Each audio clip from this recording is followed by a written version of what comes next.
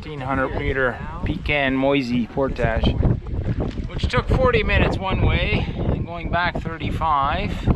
And we have all made whatever two trips, I guess. Just loading up here and recovering a bit. No, it's down. It's down. Has anyone seen my paddle? Okay. Paddle's over there. We're gonna take an inventory before we head out. Make sure we got everything.